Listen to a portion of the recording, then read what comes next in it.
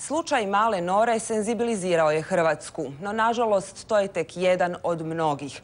Godišnje kod nas od malignih bolesti oboli 150 djece. U Europi čak 16,5 tisuća.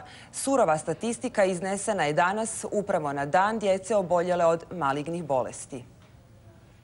Umjesto tmurne bolničke atmosfere onkologijama je barem na trenutak zavladao smijeh uz crvene nosove. Evo, izvoli. Ti hvala. Mami ćemo staviti nos. Sa 16 godina Josip je saznao da ima leukemiju. 13 mjeseci žestoko se borio i pobjedio. Ima 19 i uživa u svakom danu. A sreća je kao vas neko drag zagrli kada, a ne znam, mali stvar.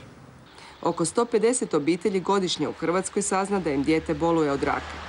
Jedna od njih je obitelj Rendulić. Otkako je dvogodišnjem Teu diagnosticiran maligni tumor oka, njegova majka Marina nije se nasmijala. Ja se nisam nasmijala tri godine. Mislila sam da nemam pravo na osmijeh.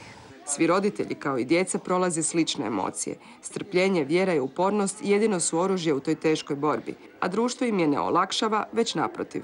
Ako smo mi referentni centar za solidne tumore, mi imamo samo jednog neurokirurga. Znači, kada naše dijete nije dobro za vrijeme e, praznika ili vikenda, nama nema tko operirati djecu.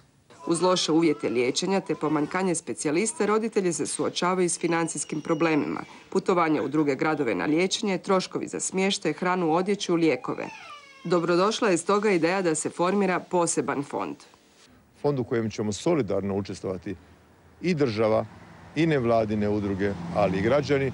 Svake se godine broj oboljele djece povećava. U Hrvatskoj ih je lani bilo 1554. Ovi mali borci prekinutog djetinstva prolaze kroz mnoge mučne trenutke. Takav neustrašiv duh trebao bi nas nadahnjivati svakodnevno. Dok se u cijeloj Hrvatskoj žučljivo raspravlja o uvođenju zdravstvenog odgoja u škole, posebice dijela koji se odnosi na seksualnost, donosimo primjer iz prakse.